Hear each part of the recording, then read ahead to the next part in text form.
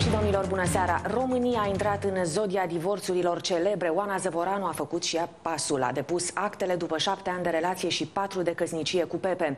Nu s-a vorbit niciodată de aventuri extraconjugale și nici scandaluri nu au fost între ei. Nu care să ajungă în presă. Singura care nu a dat de la început șanse relației a fost mama Oanei.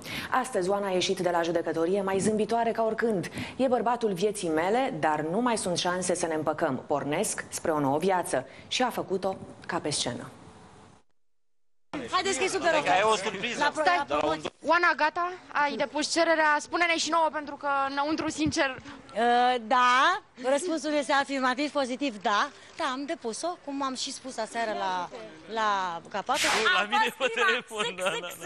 Ai ținut neapărat să vii tu prima să depui actele de divorț.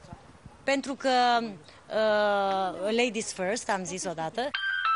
Zis și făcut, Oana s-a trezit de vreme, deși aseară a stat până târziu după miezul nopții în studiourile Antenei 1. Mâine eu uh, voi intenta acțiunea de divorț la prima oră. Am reacția lui Pepe imediat după ce a auzit că mâine dimineață la prima oră tu vei Și intenta el vine, da. divorț. Reacția lui este una singură.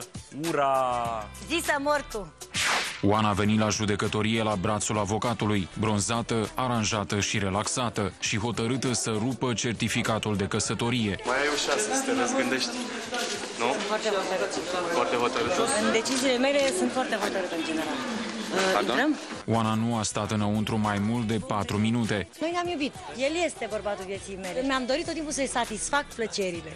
Și uh, o fac până la final. Ea a depus prima actele, dar el a făcut primul pas. În urmă cu o lună, Ionuț Nicolae Pascu, adică Pepe, a plecat de acasă și de atunci nu i-a mai răspuns soției nici la telefon, nici la mesaje. A vorbit în schimb cu presa. Ai instrumat vreodată pe Oana? Niciodată, nici măcar cu gândul.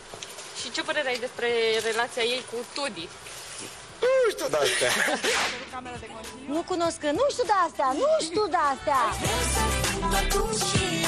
Vă rog să-mi faceți loc către noua viață, da? Vă rog.